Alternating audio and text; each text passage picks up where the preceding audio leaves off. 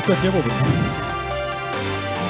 Ну что ж, дорогие друзья, мы возвращаемся к вам с очередной игрой противостояния НАТО с Винсера против Пега Сквадрон. Счет пока в пользу Веги 2-0. И две игры они уверенно шли против Натус Винсера. Напомним еще раз, что это полуфиналы первой пары.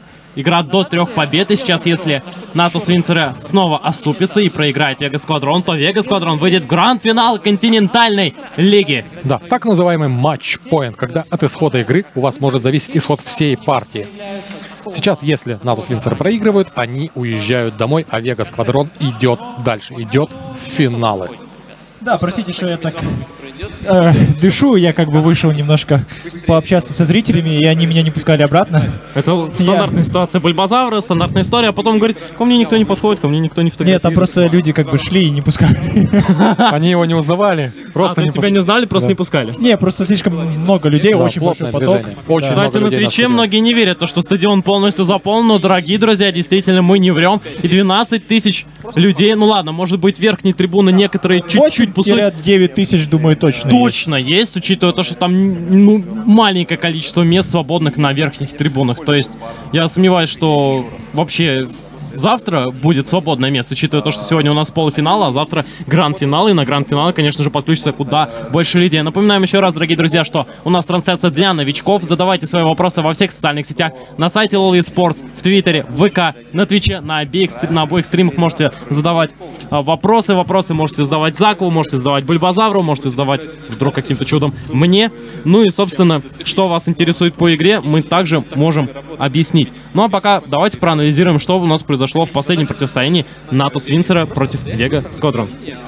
Да. Э, В очередной раз Вега продемонстрировали то, что по карте они перемещаются намного лучше, чем их противники из Натус Винсера, рожденных побеждать. То есть командное взаимодействие у них на высоте. Однако, если вы вспомните, в начале игры Натус Винсере вели по количеству убийств. То есть сражаются рожденные побеждать гораздо лучше. Да и композиция у Натус Винсера была заточена под то, чтобы выцеплять, э, ловить э, вражеских чемпионов и убивать их по одному. С чем великолепно справлялся, кстати говоря, Саулиус. Да, и в очередной раз команда Vegas Squadron показала, что они действительно команда. То есть а, снова взяли немножко такой а, выбор чемпионов, например, Z на среднюю линию для Саулиуса был для того, чтобы он как бы немного отстранен от команды был и, скажем так, э, переносил там центр давления от э, в- Vegas Squadron именно на него, а не на всю команду Нави. Но у него этого не вышло, и, к сожалению, Vegas снова переигрывает Нави. Я, я думаю, что Нави сейчас нужно действительно собраться, показать все, что у них готово, и выиграть игру, потому что мы не хотим 3-0. поменялись команды в, этот, в этой игре немногими чемпионами. То есть, если в прошлой игре был Эш Стрелок у Вегас Квадрон, а э, Севир была у, э, соответственно, Натус Визера, то в этой игре наоборот. Эш — это стрелок, чемпион э, с, ультима- с ультимативной способностью, которая способна обездвиживать цель на огромное расстояние. То есть она может выпустить стрелу и оглушить противника, и дать своей возможности команде добежать до этого чемпиона, чтобы убить. А Севир — это чемпион, у которого ультимативная способность ускоряет всю вашу команду. То есть вы ее включаете и бежите гораздо быстрее. Стрела лишь работает на всю карту, то есть если вы ее выпустили, дорогие друзья, она летит до самого конца, либо до первого встречного, либо Вообще вылетает. Ну и абсолютное умение вы получаете на шестом уровне. А также это еще, скажем так, оглушение от этой стрелы будет зависеть от расстояния, которое она пролетела. Соответственно, чем дальше вы пускаете стрелу, чем, скажем так, расстояние до цели будет больше, тем дольше будет стоять цель в оглушении. Поэтому пытайтесь попадать с очень, скажем так, снайперских мест. Да. Ну и видели мы в прошлой игре э, пушечный обстрел. Это очень сильное ультимативное умение. Э, Ганг Планка — это такой чемпион-пират, у которого как раз-таки есть бочки, которые он может взрывать и наносить просто невероятное количество повреждений. И с помощью своего пушечного обстрела это также э, глобальная ультимативная способность, которая действует просто по всей карте. Он может вносить сумятицу и участвовать в любом э, командном сражении, в котором даже он э, лично, так сказать, не присутствует. Ну и, дорогие друзья, многие спрашивают, что, что, что же происходит на стадионе. Вот все-таки показываю сейчас Шаркса, на задняя трибуна немножечко пустует. Дорогие друзья, у нас сейчас перерыв, все фоткаются с косплеями. Не, не- кстати, не забывайте, то, что наши комментаторы, профессиональные игроки, также находятся а, в главном холле на первом этаже, также все фоткаются с Браумом, и во время игры постепенно народ пополняется. Пока сейчас та стадия, а, когда можно просто поболтать с друзьями, как-то узнать у профессиональное мнение киберспортсменов. По слухам, о да, ходит где-то Diamond Prox. Да, кстати говоря, многие пытаются его найти. Мы уже видели несколько людей, Да. которые нас спрашивали, а где Даймонд Прокс? Точно. Поэтому, дорогие друзья, мы знаем, где половина стадиона, половина бегает за Даймондом, ну а еще часть бегает за Мной. косплеерами. Ну, ча- часть за тобой, безусловно, да, кто-то за Ари бегает, кто-то за Эвелин, у каждого свои любимые косплееры и косплеерши. Кстати, Дрейвен очень классный, и если вы с ним сфотографируетесь, хештег Дрейвен косплей. Легчайший. Но костюм у него просто потрясающий. Он просто великолепен. Ну и что ж, дорогие друзья, мы переходим к стадии выбора чемпионов НАТО Свинцера против Вегас Сквадрон. Счет пока в пользу Акул 2-0 НАТО Свинцера на синей стороне. Ну и еще раз небольшое пояснение. Чем же отличается синяя и красная сторона? То, что у чё есть три блокировки у каждой команды. В чем отличие? Да, практически ни в чем. То есть каждая из команд блокирует по три чемпиона по очереди. Синяя сторона первой, красная сторона во вторую очередь. Сейчас Натус Винсеры заблокировали опять Шена. Снова в третий раз у нас данный чемпион уходит на, э, в бан. То есть его теперь нельзя использовать. Не будет у нас плечом к плечу к данной, в данной игре. Это ультимативная способность Шена, с помощью которой он может прилетать на любую линию, в любое командное сражение. Почему-то очень не любят этого чемпиона Натус Винсеры и не хотят его допускать к игре. Есть э, один вопрос к Базару, учитывая то, что вот сейчас э, метагейм сменился, опять сменился стиль игры, как мы уже говорили, то есть э, изменили вышки и убили полностью смену линии на ранней стадии игры, как это было раньше на профессиональной сцене. То есть играх вы вряд ли такое делаете, но вот раньше команды очень часто меняли свою роль на то, чтобы заработать дополнительное золото. Сейчас такого нету, и вот метагейм на этом очень сильно сказывается. И Следственно, э, мета на верхней линии сильно изменилась, и чемпионы с глобальными ультимейтами, с какими-то способностями, сражающиеся как можно дольше на линии, стали куда популярнее. Отсюда и Шен, отсюда и Гангпланк, отсюда и... Да. Воу-воу-воу, у нас изменения в банах. Натус Винсере наконец-то забанили там Кенчи, который очень много им крови попортил в первых двух играх. Теперь не будет у Эдварда, его любимого саппорта, не будет он никого из союзников проглатывать и не будет их уносить в безопасное место. Ну а Вега Сквадрон делают абсолютно те же самые баны, что они сделали в двух предыдущих играх. Талия, Грагас, Райс. Да, Вегас Квадрон не нужно ничего менять, у них все работает, то есть Нави сейчас надо что-то делать, на чем-то фокусироваться, и я думаю, там Кенчи-то, возможно, именно то, что им нужно было забанить. Посмотрите на этот кубок. Как же он блистает, как же все красиво разыграно. Но и Вега Сквадрон действительно сегодня использует на позиции стрелка XD Смайли. Э, На регулярном сезоне у них играл как раз э, Ритикс. Также в начале у них была достаточно проблематичная ситуация, а вот Натус Венсеры приобрели нового стратегического тренера сначала Дейруина, а потом он стал их основным тренером. Бульбо, к тебе вопрос. Почему такое происходит? Почему команды используют замены? И зачем командам так много игроков, если играют все равно 5? А, но всегда команды есть такая, скажем так, возможность у всех команд, что, допустим, игрок заболел, либо игрока, скажем так, что-то случилось, из-за чего он не может достаточно определять времени игре, либо просто не может, допустим, поехать на какой-то турнир. И тогда, конечно же, используется игрок замены, который всегда там присутствует с командой, ездит вместе с ними всегда, иногда даже тренируется вместе с ними. То есть есть активные замены и есть просто замены, которые, ну, должны быть у команды на любой случай. Активные замены, как для примера, в а, прошлом сезоне было у э, команды чемпионов мира СКТ-1, то есть на средней линии у них был Фейкер и Изихун. Оба этих ми- э, мидера, соответственно, играли в любой игре, как бы как, кого поставит тренер, тот и будет играть, соответственно. Поэтому все зависит чисто от команды и от того, как они привыкли. Вопрос теперь уже к Заку. За счет чего команды стараются подобрать себе чемпионов? Почему они ждут с некоторыми пиками? Расскажи, пожалуйста, подробнее про матчапы. Да, матчап это очень важная составляющая Лиги Легенд. То есть вы не можете брать, например, некоторых чемпионов на первой и второй фазе э, ротации, поскольку э, против этих чемпионов можно взять какую-то командную композицию, которая полностью э, испортит всю игру и все ваши планы на, собственно говоря, которые вы строите на игру. То есть некоторых чемпионов лучше оставлять, даже несмотря на то, что они очень сильные, оставлять на более поздние этапы выбора чемпионов. Ну и посмотрите, что творит Вегас. Квадрон забирает Тарика на позицию поддержки. В Корее это очень активно используется, но и Дейруин улыбнулся в камеру. Как на такое не посмотреть?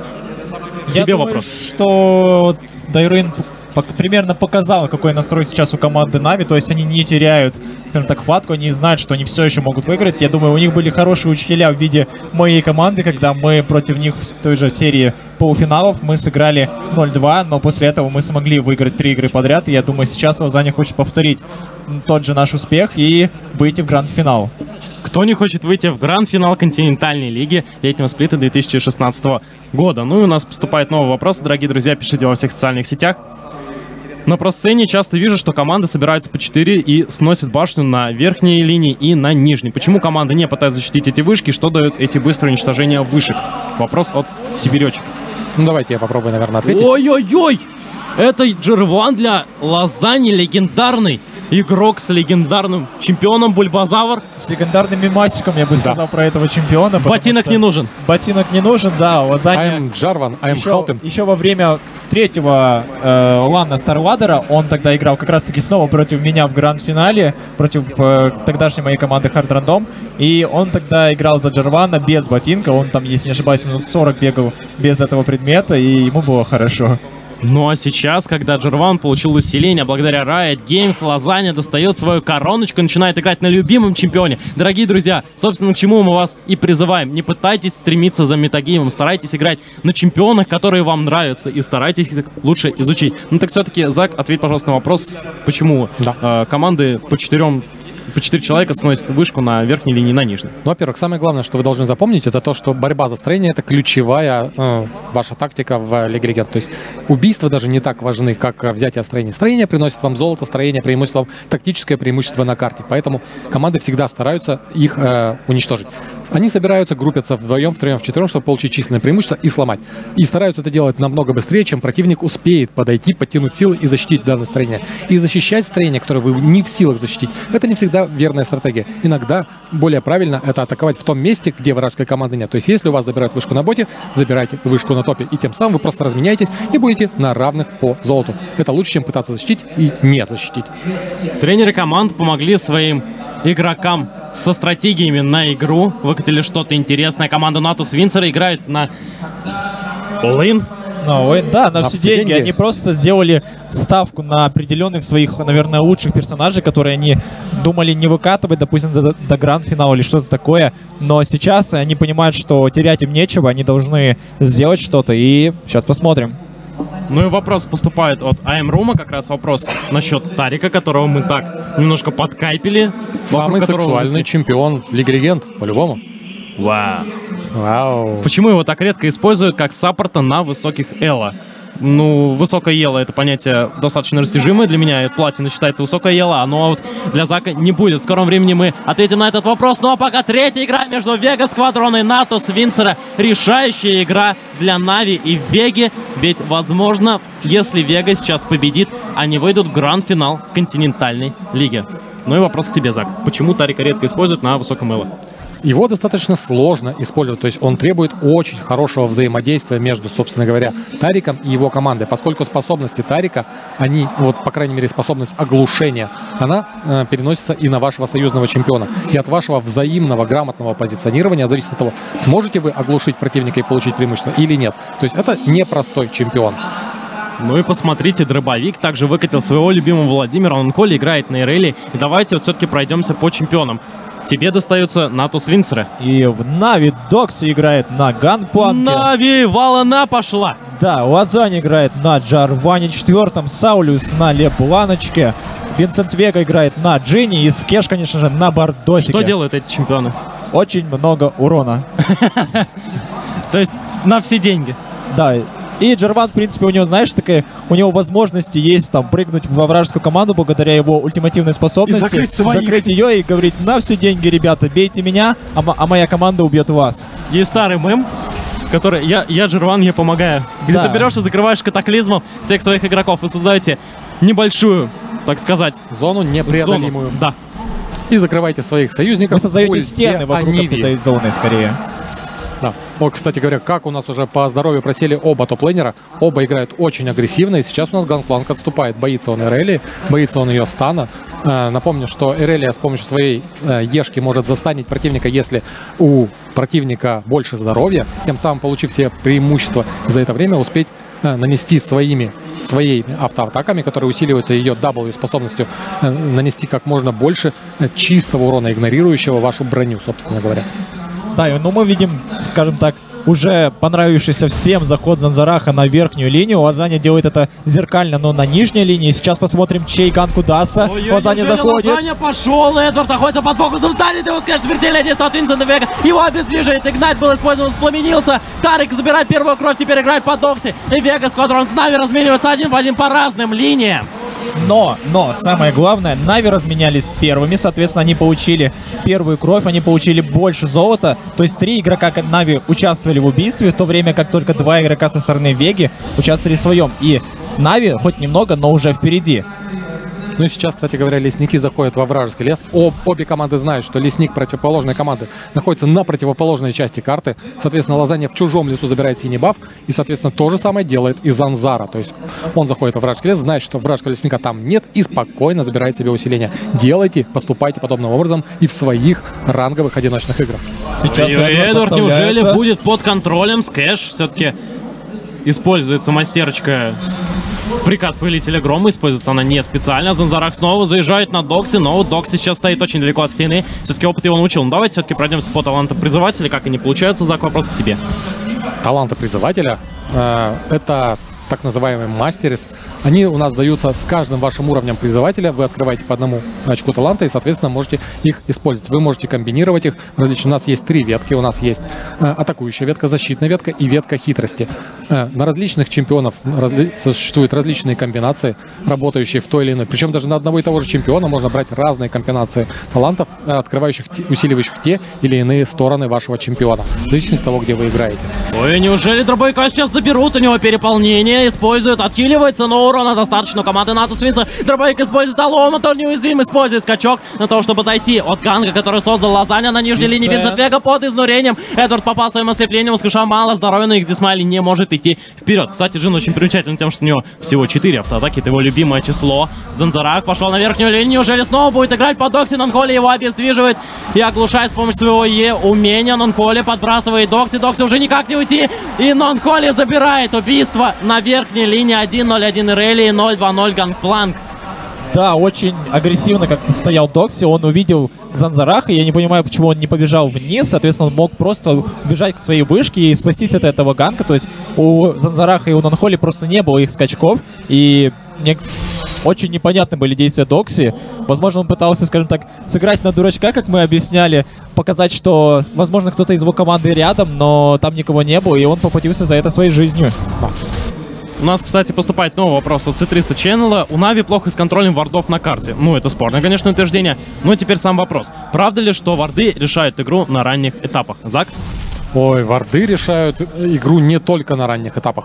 Как вы видели в прошлой игре, не было вардов у команды НАТО Свинцера в районе э, барона Нашора, и они просто пропустили вражескую атаку на этого эпического монстра и отдали такое невероятно мощное усиление врагам просто так, без какого контеста, без какого-то сопротивления. Друг поддержки приходит на среднюю линию, дробовик использует алом, за счет чего и уклоняется от оков вселенной Барда. Так что варды решают на любой стадии игры. Обзор очень важен. Еще раз повторяю, не, ребята, не экономьте деньги на покупку вардов. Не забывайте использовать бесплатные желтые тринкеты, которые даются вам в самом начале игры. Вы можете их совершенно бесплатно купить в магазине. Э, что, кстати говоря, некоторые начинающие игроки забывают, убегая с базы, не закупившись этим важным предметом. Не забывайте их использовать, расставлять по карте в ключевых местах. И ваша э, жизнь на карте будет намного более спокойнее. Ну, теперь вопрос от Зеваки. Скорее всего, он будет адресован Бульбазавру. Скажите, пожалуйста, стоит ли в лейте продавать ботинок? Ну, хотелось бы спросить, конечно, у Лазани, но вот все-таки вопрос достается именно Бульбазавру. А, я бы сказал, что все зависит от ситуации и от, скажем так, персонажа. То есть есть персонажи, которым ботинок вообще не собирается в данный, скажем так, момент игры. Это, например, Кассиопея. Этот персонаж собирает полностью 6 предметов в урон, и ей ботинок не нужен, потому что не, у нее есть ее пассивное, ну, скажем так, ускорение. А всем другим персонажам я бы предпочел ботинок оставлять, потому что это а, некоторые ботинки э, добавляют там хорошие статы, например, там а, те же берсеркер ботинки добавляют достаточно много а, скорости урона. Также а, Ниндзя Таби, они тоже хороши, они добавляют достаточно много брони, но самое главное это скорость передвижения. Если вы не добежите до своих целей, зачем тогда вам урон, если вы не сможете его по, по сути нанести? Поэтому ботинок очень важен. Но если, если у вашей команды не хватает урона, и вы, допустим, какой-то стрелок либо маг, то, в принципе, ботинок можно продать в очень поздней стадии игры, заменяя его каким-то э, итемом на урон. Кстати, посмотрите, как Ганклан грамотно использует свои бочки. Он ставит их в кустах, чтобы враг их не видел и не мог уничтожить, ведь спустя несколько секунд бочечку можно будет уничтожить всего одним ударом. А бочка, между прочим, снимает часть брони с врага. Ну и как вообще работает пробивание брони? Еще раз, Зак, повтори, пожалуйста. И почему не все показатели урона работают так, как мы их видим? Да, на самом деле, э, даже если вы наносите, там, скажем, 100 единиц урона, то это не факт, что ваша атака именно 100 единиц урона нанесет. Ого, абсолютное умение по Эдварду. От Джина еще идет и пушечный обстрел от Гангпланка. Эдварда все меньше и меньше здоровья. Саулюс прыгает вперед, находится под изрением. Его дамаг режется, не может он ничего сделать. Урон не хватает, но лазанья вовремя появляется, забирает арк. Но теперь самому еще уйти. Но он Холли к нему подскакивает. Но Лазанья сможет уйти, фиберные клинки пошли, тем временем на нижней линии подфлешивается Винсент Вега, не попадает смертельным действием, заберет ли или нет, вот она легендарная комбинация умений, катаклизм от Джервана, где он и скончался, Сивер забирает Джин, но Саулюс должен сейчас будет умрет. умирать от ультимайта дробовика, дробовик подхиливается, и Винсент Вега его не добивается последнего критического выстрела. Четвертый всегда Да. критует. Надо- Четыре выстрела на ульте. Надо нам серьезно пройтись по способностям чемпионов. Нету времени, мне кажется, Да. Нонколи, способностям. Нонколи сейчас должен забирать Докси, но все-таки отступает, потому что прекрасно понимает, что нужно и миньончиков забирать. Все-таки фарм превалирует над миньонами. Да. Динамичное у нас сражение, растянувшееся там на полторы, наверное, минуты. Счет у нас уже 3-4 по убийствам в пользу Вегас Квадрон. Находятся они немножко впереди по золоту, примерно на тысячу золотых. Примерно там на какого-то одного из чемпионов они могут, наверное, купить какой-то дополнительный предмет. Э, Но пока что это разрыв не катастрофический, еще ничего не потеряно для Нави. Пытается Нави играть очень агрессивно, организуя просто сражение на всех э, линиях, потому что это как раз ключевая особенность команды Нави. Они играют от каких-то неожиданных э, действий. Э, они понимают, что они слабы в каких-то командных взаимодействиях, в каких-то тактических элементах, поэтому стараются просто играть агрессивно, навязывая э, сра- сражения, навязывая бои э, на любых участках карты, э, заставляя противника просто ошибаться. Да, и сейчас, в принципе, мы видим, что команда Нави поняла, что поняла скорее, что им нужно что-то делать как можно чаще. Соответственно, им нужно драться не 5 на 5, им нужно делать драки 2 на 2, 3 на 3 и переигрывать именно на собственной механике. То есть э, в каких-то командных перемещениях им это не удастся. Да, ну и вновь берется у нас убийца для Саулюса на среднюю линию. На этот раз это Леблан. Ее ультимативная способность, она мимикрирование. Она Ой-ой, неужели по Дробовику будет играть? Скэш появляется из ниоткуда, строчка неизбежно, Дробовик в него попадает, Лазани не попадает комбинации. Что продолжит цепочку контроля, за счет чего Дробовик использует скачок и уходит от ганга. Тройка игроков Natus Vincere. Ой, серьезно переиграли сами себя игроки из Нави. Их комбинация ультимативных умений просто законтрила друг друга. Отсрочка неизбежности от э, Скэша была совсем не к месту. Как раз из-за нее своей комбой, своей комбинацией Q и Е промахнулся. э, да, промахнулся у нас Лазанья и, соответственно, не смог подкинуть дробовика, не смог его оглушить на какое-то время. И тот сумел использовать скачок и уйти в безопасность под свою вышку. Но вообще Лазаня мог пойти под вышку, использовать свою ультимативную способность, потому что у дробовика не было ни скачка, у него не было его Кровавого а, W бассейна. спелла, да. И, в принципе, они могли его убить, но Лазаня решил сыграть более осторожно. Он не знал, если там кто-то сзади дробовика, и, возможно, бы он поплатился за это с жизнью. Ну и Эдвард получил шестой уровень, а ultimate Тарика, как мы знаем, многое может сделать. Да, ultimate Тарика. Ой-ой-ой, что происходит? Нонхоли снова нам не дает ни о чем поговорить. Мгновенно забрали. Докси выживает, использует скачок. Не позволяя Ирелии себя забрать. Ultimate Сивир пошел. Вот оно, космическое сияние от Тарика дает неуязвимость команды Вега Сквадрон. И оно забирает очередное убийство. Занзарак и Эдвард находятся под станом Скэша. И Т1 вышка на нижней линии будет взята. Вот Лазани кидает его на то, чтобы ускорить свою автоатаку. И вместе с Докси они разменяются, скорее всего, по вышкам один в один. А на мидлейне у нас ровно матчап. Ну и как видите, как раз таки, как я и говорил в начале э, трансляции, э, команды не всегда защищают свои строения. То есть на нижней стороне красная команда удалось взять вышку первого уровня по нижней линии, на что синяя команда забирает вышку первого уровня на верхней линии. Да, и сейчас мы видим, что э, Вегас Квадрон после того, как взяли одно убийство, одну вышку, сразу же пошли брать дракона. Они укрепляют свое преимущество еще больше. Их э, командной композиции этот баф дракона даст очень много, так как у них все построено именно на их передвижении, на их скорости передвижения. И чем больше его, тем лучше для них. Ой, неужели будет ганг по дробовику от Скыша? Используется ультимативная способность у дробовика, чтобы себя отхилить. Находится под воспламенением, что уменьшает его исцеление. Дробовик сможет исцелять Саулюса. Саулюс не догорает от Игнайта от воспламенения от Саммонера, который использовал дробовик И все-таки Барт помогает Лебланк выжить на низком уровне здоровья. Здесь Мали не дотягивается бумерангом, использует щит от магии, то, что принять около вселенного скыша, но не получается. Зафейлил, по-моему, дробовик свой ультимейт, он э, применил его просто по пустому пространству, не попал он по Саулису. Не, он попал по Саулиусу. Попал, да? Попал. М, А Там что достаточно делает много ультимейт урона. Да. Что делает ультимейт Владимир? А, что делает ультимейт Да. Владимир? Прости, я пропустил твой вопрос. Ой, спасибо. Да. Значит, вопрос от зрителей мы не пропускаем, вот мы и пропускаем. Да, Да? Хитрость. Все правильно. А, окей. Ultimate Владимира у нас э, наносит, во-первых, конечно же, гигантское количество урона, э, помимо всего прочего. Но плюс он еще увеличивает урон, входящий по цели. Соответственно, урон всей вашей команды э, также возрастает. Ну и кроме того, теперь же после переделки Владимира он вос- восстанавливает самому Владимиру очень-очень много здоровья. Кстати, мы также забыли упомянуть о том, что есть такой предмет, как видящий камень, который позволя- позволяет также оставлять а, тотемы. И сейчас мы видим, что Рексай куплен именно этот предмет, а мачете охотника она не решила заканчивать. Еще раз напомню, что используйте какие-нибудь гайды, например, Зака, чтобы лучше разбираться в предметах. Вот Док сейчас под вышечкой могут и зажать. Джерван с Бардом это прекрасно чувствует и на верхнюю линзу. Зарак поставил тотем, чтобы проверить туман войны и нашел, что же все-таки происходит. И сейчас Нави не собираются давать вышку для Вега Сквадрон на верхней линии, но мне кажется, они сейчас могут за это победиться, если зайдут в свой лес, так как там очень много тотемов от команды Вега Сквадрон, и они могут их поймать. А учитывая, что Вега Сквадрон уже впереди на 2000 золотых почти, они намного сильнее, и там, не знаю, вот Рексайна сейчас просто наносит какие-то нереальные уроны, и драться один на один с ней будет очень трудно любому персонажу. Ключевой вопрос, который мы э, опустили, когда и для чего брать Герольда Бездны. Да, кстати говоря, как-то мало внимания данному эпическому монстру уделяют обе команды. За последние, по-моему, две игры мы ни разу не видели его. Можно когда- Бульбазавра спросить. Бульбазавр, почему команды не фокусируют свое внимание на э, Герольде?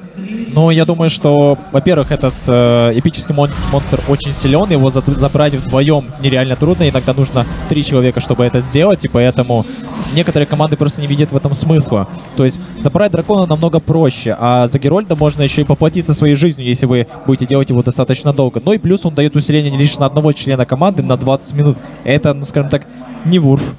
На самом деле при игровом стиле Нави отдавать вот э, баф э, Герольда Бездны какому-нибудь э, Саулиусу, который э, сплит-пушит, то есть э, создает давление по боковой линии, это была бы хорошая идея на самом деле. Срочка неуспешно, Смайли с Эдвардом в нее попадает, не успевает использовать щит от магии, Лазань использует свою комбинацию, Эдвард отвечает ультимейтом космическое сияние, ослепляет Лазанью, обездвиживая его, пошел выкат на поклон Жина, первый выстрел по дробовику, но дробовик находится в алом омуте, где Смайли использует свой ультимейт на то, чтобы ускорить команду, Занзарак выфлешивается из ультимейта Лазани, идет ответ на телепорт от Ирели, сейчас можно закрыть команду, НАТО Свинцер идет активный фокус по Лазане, его забирает, Вега Сквадрон разменивается, один в ноль, пока в свою Да. пользу, Зарак поехал вперед через туннельчик, отфлешивается. И не Докси. смогут защитить эту вышку команда Нави, у них э, не хватает игрока, то есть Саулис опять-таки доходит отдельно от команды на боковой линии, и сейчас в очередной раз Вега демонстрирует то, что их командные взаимодействия намного-намного сильнее. Забайтили они в очередной раз на сражение на верхней линии, подключили телепортом свою- одного из своих игроков, который зашел к вражеской команде за спину, и закрыли вражескую команду, сделав убийство в свою пользу. Ну и, кстати говоря, команды пошли забирать Герольда Бездна.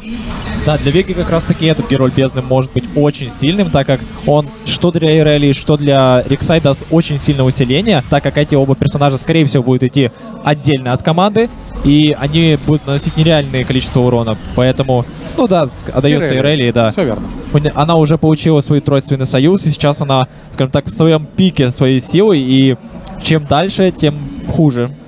Ой, какая красивая анимация появилась на поле стадиона. Убит Герольд бездны. Что дает Герольд Зак? Герольд у нас, во-первых, он снижает урон от вражеского чемпиона по вам. Во-вторых, он дает вам баф, который настекивается, и при 100 единицах э, этого бафа следующая ваша атака нанесет больше урона. Вот. Но самая главная особенность этого бафа то, в том, что он работает только когда вы находитесь отдельно от своей команды. То есть, когда вы в одиночестве против всех своих врагов, вот тогда он вас будет усиливать. Если вы подойдете к своей команде, баф перестанет работать. Вопрос от Йена 92. Как понять, какой чемпион кого контрит? Дорогие друзья, есть сайты статистики, на которых можно посмотреть итемизации, то есть предметы. Можно посмотреть э, winrate, то есть показатели процента побед или поражений против данного чемпиона.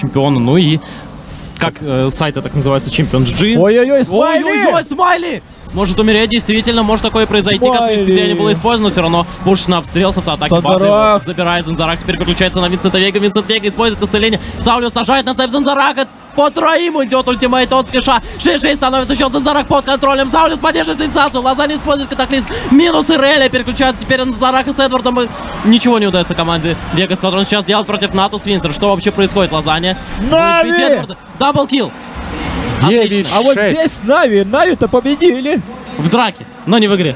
Пока еще нет, но все, они делают все возможное для этого. То есть они поймали Вегу Сквадрон на том, что э, Вега почувствовала силу, решили пойти вперед. И самое главное, что сделали это Скэш и, и Винсент Вега. Они поймали Смайли, который оверэкстендил, мы уже объясняли это.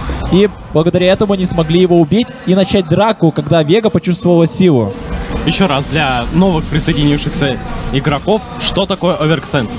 Оверэкстенд это когда ты де- делаешь определенные действия, которые ты сейчас не можешь сделать. То есть ты заходишь слишком далеко на линию, без тотемов, без своей команды, скажем так, поддержки сзади. То есть тебя могут поймать и убить, соответственно. Чем, чем э, агрессивнее действие, тем больше overextend.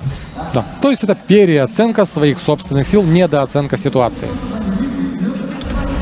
Да, Нави победили, дорогие друзья, Нави победили. Я вижу, что что в чатике вы это пишете, дорогие друзья. Но пока еще рано. 2-0 в пользу Вега Сквадрон. И это матч для Веги, чтобы выйти в гранд-финал континентальной Эдвард. лиги. По Эдварду проходит очень много урона, использует космическое сияние, но все-таки Нави не решаются Веги нужно сейчас отходить наступать. сейчас, потому что если они останутся здесь, они все могут поплатиться жизнью, потому что у них очень мало здоровья. Эдвард потратил свою ультимативную способность, и Ультимативная способность Старика, кстати, очень сильна. Да, То есть она это- дает неуязвимость вокруг двух целей на целых, там, по-моему, две секунды, да?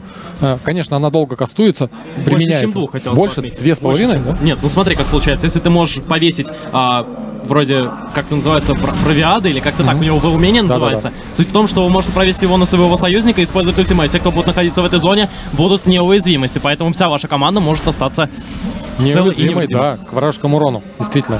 В ключевые моменты в э, командных сражениях это может быть действительно решить команд... исход всего сражения. Смертельный Джина это пошло, Ланколе проходит очень много контроля ультимейта, Галфага пошел, Нави добирает два убийства, Кэш. 11-6. живи. Неужели это камбэк от Нави, возвращение в игру и в серию против Вега Сквадрона? Сейчас все склоняется к тому, что Вега Сквадрон может проиграть данное сражение. Но Нави сейчас нужно заходить на Т3, потому что если они сейчас его не заберут, у них будет очень мало возможностей позже, Да. но они решают отойти. И А, большое количество миньонов у нас да. идет и по верхней линии, то есть сами миньоны создают давление, и туда вынужден смещаться дробовик, чтобы как-то отпушить линию, то есть зачистить волну миньонов, чтобы та не смогла сломать э, его вышку. Ну и так, такое же давление создается еще и по нижней линии. Туда спешат как Докси, так и Занзара, который будет защищать свою вышку. Ну, Докси решил у нас вернуться на базу, закупиться предметиками. И я бы хотел отметить отличную, просто феноменальную игру от Скэша. То есть мы еще перед финалами говорили, что это игрок, на которого стоит обратить внимание. И сейчас Скэш 4.06 Бард, который все вот, вот 10 убийств из 11 убийств Нави были сделаны в основном благодаря Скэшу. И если бы не он, то я не думаю, что у Нави были бы такие шансы. Скэш просто сейчас на своем горбу тащит Нави. Ну и, дорогие друзья, вы очень часто задаете вопрос о том, что делать со страничками рун. Мы уже отвечали. После 20-го, как правило, старайтесь собрать именно третьего уровня руны, чтобы э, играть на своих любимых чемпионах. Руны, конечно же, необходимо, старайтесь их закупить. Как правило, играет несколько страничек. Роль мне хватает буквально трех для того, чтобы нормально себя чувствовать и играть. Ну, конечно, на некоторых чемпионах требуются уникальные рунки. Что касаемо талантов, э, вы получаете их с апгрейдом своего уровня, то есть получением, так же, как и некоторые умения призывателя. Например, скачок. Многие спрашивают, что такое отфлешница. Флэш равно скачок, то есть, как правило, используется именно подобная терминология. Если вы ее услышите, услышите, не пугайтесь, дорогие друзья. Снова идет ультимейт от Скаша, ловит Занзараха. Но вот продолжит или нет, такого вселенной не дотягивается, но он уходит через туннель. Очень интересная механика от Лиги Легенд только что была. Скэш оглушил Занзараха, но Занзарах уже в момент, когда Скэш использовал оковы вселенной на него, он пролез по своему туннелю. Сейчас Скэш пытается сделать еще больше, но Нави сейчас просто должны забирать вышки внешние, которые остались. Внизу осталась одна, даже две вышки. И э, Т2 вышка на верхней линии. Соответственно, они все там загруппированы. И Нонхоли идет, пытается пой- пойти по нижней линии. Перетягивая Ой, давление Неужели туда. будет сейчас драка против команды Вега Сквадрона? Эдвард находится в mis позиции, но Лозани не может продолжить свою комбинацию. Кстати, про комбинацию. Если вы используете копье, а потом к нему притягиваетесь, Е плюс Q, вы можете подбросить вражеского чемпиона. Да, А собственно говоря, это как раз и есть элемент контроля в арсенале Джарвана. Сквадрон врывается. использует космическое сияние, подфлешивается Эдвард, чтобы застанет двоих и обездвижить, оглушить. Лазанья использует ультимейт поиск Смайли. Хотела ли Бланочка напрыгнуть на стрелка команды Вега Сквадрон, но это не получается. Джин разбирается с Тариком. Теперь Занзарак преследует Винсента Вега, подбрасывает ее четвертый выстрел у Винсента. Забирает Рексай, получает двойной вист и 13-6 в пользу рожденных. Кэш! Еще могут. Вот это стан по Нанхоли. Что происходит? Лазанья переключается на дробовик, разбирается с Лебланк. Вот эта игра, дробовик должен быть сейчас уничтожен, еще отхиливается с переливания. Но и Натус Винсер должен Да. получать еще одно убийство. Рано или поздно его, конечно, 4 в догонят. 1 для Нави. Они сейчас просто показывают, что сдаваться они не хотят. Они сейчас пойдут на барона на Шора. Это правильное решение. Забрать вышку не так важно, как забрать барона. То есть лесник вражеской команды мертв. Никто его состилить не может. Но, кстати, Зандарак сейчас возрождается. Кстати, это может быть очень рисково. Ой-ой-ой-ой, Ай-яй-яй, спектатор, пожалуйста, вернись. Вернись. Вернись, пожалуйста, там, на там потом. события. Спектатор, пожалуйста. Спектатор это наблюдателя, состилить равно украсть, но Натус Винсер Нави! продолжает барон на шоу, Эдвард подходит, ускажает Винсент Вега, мало здоровья, ослепляет Лазанью. Нет. Лазанью забирает барона на шора, Севир забирает Барды и рикошет оттягивается до Докси, Джина, Джин ничего не может сделать. Докси перефлешивается через стену, перескочил с помощью умения призывателя. Эдвард не дотягивается слепление до Лазанью, скорее всего, они его закроют. Лазанью нет ни маны, ни здоровья, абсолютно ничего. Бумеранг не дотягивается, рикошеты пошли. Лазанья, что ж ты делаешь, танцуешь, но все равно уже никуда не мог уйти. И посмотрите, это действительно очень классный момент. 15-10 в пользу рожденных побеждать. Очень много отдали за этого барона Нашора, конечно же, Нави. Очень много киллов, очень много убийств. Однако усиление они все-таки получили. И на Саулиусе это усиление И на Доксе еще еще есть. И на еще есть. Отлично. Да, соответственно, два персонажа. Это очень даже хорошо, учитывая, в какой ситуации были Нави. Если бы они потеряли нам всех, тогда бы это было 100%, ну, невыгодно для них. Но сейчас они полностью нивелируют то э, золото, которое они отставали в начале и в середине игры. И сейчас, самое главное, Вега больше не сможет забрать этого барона Нашора, соответственно. Да, ну и смотрите, у нас идут пинги, то есть кто-то кликает по миникарте на дракона, то есть сейчас будет за него серьезная драка. Дракон у нас океанический, убив которого вы получите усиление, которое будет восстанавливать вам здоровье, что очень важно при ведении осад и защищаясь против тех же самых осад. Начинают уже делать дракона у нас Вега. Ну, Скэш, подходит очень близко, возможно, его поймают, но все-таки успеет уйти через туннель. Ну и Винсент Вега использует свой ultimate, стреляет по XD Смайли, Назарак находится под отсрочкой неизбежного. Выстрел это очень болезненно, оковы вселенной в этот раз никого не станит. Используется комбинация ультимейтов между Сивир и Тариком. Назарак врывается в teamfight. Докси О, боже мой! Владимир Черван забирает дракона. И что происходит? Команда Natus Vincere легчайше просто выигрывает этот Нави fight. сейчас выигрывает Со счетом эту игру. 20-10. Они разложили всех своих оппонентов. Это эйс в их пользу. И они могут с бафом барона Шора забрать как минимум сторону и уничтожить ингибитор. И пустить по своей средней линии супер миньонов, которые Нави будут более живучими. игру. Скорее всего, да, но там 30 таймеры по 20 делают 20 не факт. секунд, они успеют. Нави факт. должны идти заканчивать игру. Они должны. Лазанья скажет заканчивать игру. Я знаю Лазанью. Лазанья хорош. Ты знал, ты знал, что это может Еще быть. 10 Но секунд. все-таки Вега Сквадрон, возможно, сейчас Лазанья. еще и возвратится. 5 секунд до. Ирели. Натус Винцер забирает вторую вышку. Этот появился, ослепил Лазанью. Лазанья горит от вышки, но все-таки урона недостаточно. По Нексусу, Винцер, надо играть по Нексусу. По? Нексусу. По Нексусу, пожалуйста. И где. Смайлер начинает. Нави И. Натус Винцера Нави. все-таки победили. И забирают решающую карту Вега Сквадрон. Счет становится 2-1. Победу в пользу рожденных побеждать. Не будет у нас сегодня три легчайших 3-0. Натус Винцере, рожденные побеждать так просто, не сдаются. Счет у нас 2-1, а серия у нас до трех побед. Так что следующая игра опять будет решающая. А Что за говорил, разворот? Нави, Что Нави за разворот? Нави. Как они это сделали, учитывая то, что первые две игры Вега Сквадрон легко забрала, Natus Vincere ответили своей победой. Это было действительно очень красиво и эффектно. Дорогие друзья, не забывайте, что это трансляция для новичков. Задавайте все свои вопросы в социальных сетях. ВК, Твиттер, LOL eSports. Можете прямо там в комментариях писать. Наш режиссер Дарина будет отбирать лучшие вопросы. Ну и, дорогие друзья, в скором времени мы вернемся с очередной картой. Уже получается четвертый по очереди. Игра до трех побед. НАТО Свинцера против Вега Сквадрон за выход в гранд-финал континентальной лиги летнего сплита. Ну что ж, дорогие друзья, мы уходим на небольшую паузу. Никуда не переключайтесь. И не уходите.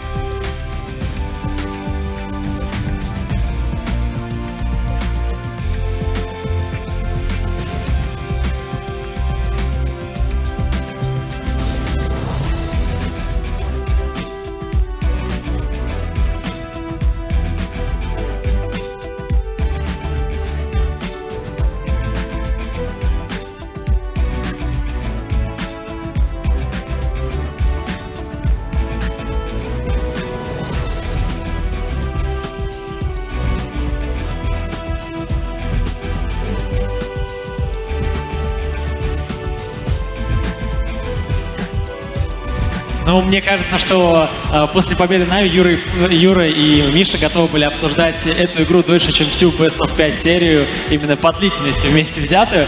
Поэтому, если Нави действительно будут побеждать, то Алсеру с Флашом будет о чем поговорить, так как ну, они все-таки Нави команду очень любят. Ну что ж, а, мы обсудим все-таки действительно прошедший матч, потому что у меня напрашивается такая фраза «старая добрая СНГ заруба». Потому что то, что происходило здесь, это файты, файты, файты постоянно. Вот пер- первые две игры тоже, они были насыщены этим, но вот эта игра прям взорвала все, то есть постоянные ганки. Между прочим, э, во всех трех играх ФБ было совершено до пятой минуты, то есть постоянно идут смерти на первых ганках, постоянно идут файты, так что, конечно, э, заруба действительно мощная. Да, э, ты правильно упомянул, э, киллы происходили до пятой минуты, и они происходили по одному и тому же сценарию.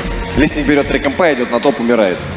Такое мы видим очень часто SoloQ, и это было, эти были SoloQ смерти. Я не понимаю, Докси нервничает или что с ним происходит? Почему он постоянно э, попадает на одну и ту же, на, на один и тот же gank от Рексай? Сценарий. Да, я этого не понимаю, но что меня порадовало, э, это то, как начина- начина- начали отыгрывать Нави. Они начали отвечать инициативой. И в начале игры было видно, насколько Вега была инициативной, насколько Нави бы- были инициативны. Килл там, килл здесь. Постоянно все друг другу отвечают. И в один момент, в один момент Нави решили, хватит это терпеть. И пошли в атаку.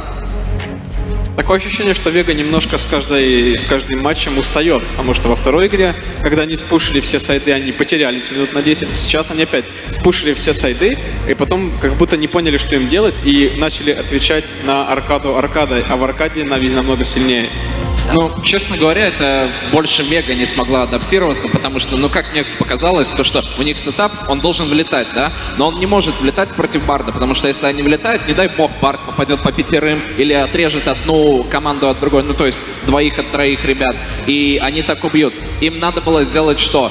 Если Нави влетают, им надо было дать грамотный Тарик ульт. Дается грамотный Тарик ульт, разворот с Севир ультом, и они, в принципе, должны были именно так играть. Просто так получилось, что не Им не сыграли. нужно было стягиваться на мид для драк. У них Ирели сильнее Ганпанка. Ганпанк ее никак не сможет остановить. Риксай приводим к Ирели. Давят Ганпанка, допустим, на топе. На боте Лебланка с Владимиром стоят.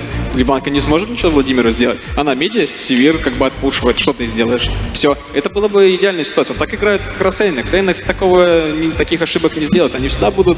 Они никогда не стянутся на мид просто так, чтобы подраться. У них все нормально. Там фарм, там фарм голды, там фарм голды. Спушили вышку, там спушили вышку, там зажимают противника, потом просто забирают объект и заканчивают свою игру. И, кстати, я хотел бы еще отметить, что Ликрит, о, Ликрит, прошу прощения, Скэш, заликритил Вегу Сквадрон.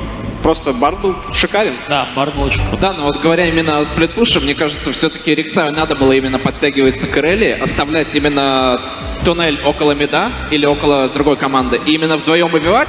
И если что-то происходит, то ничего страшного, типа, он на туннеле уезжает. Именно так надо было разыгрывать. Последнее, наверное, что хотелось бы отметь- э, отметить, Скэш поверил в себя. Это отличная игра от Скэша, та игра, которую от него мы ждали. Он сыграл очень четко, очень правильно, и синергию между лесником и э, саппортом можно было прослеживать в тимфайтах. Да, было пар- пару неудачных ультов, но потом они разыгрались. Я жду от Скэша таких же игр впоследствии. Да, серия еще ни разу не закончена, дорогие дамы и господа. Она продолжается. Борьба между Natus Vincere и Vega Squadron вовсю. Это по-прежнему матч-пойнт. Счет 2-1 в пользу Веги. Натус Винсеры имеет очень крутые шансы на морали выиграть и следующую игру и уравнять свой счет, дорогие дамы и господа. После небольшого перерыва мы включаемся в четвертую игру. Никуда не переключайтесь.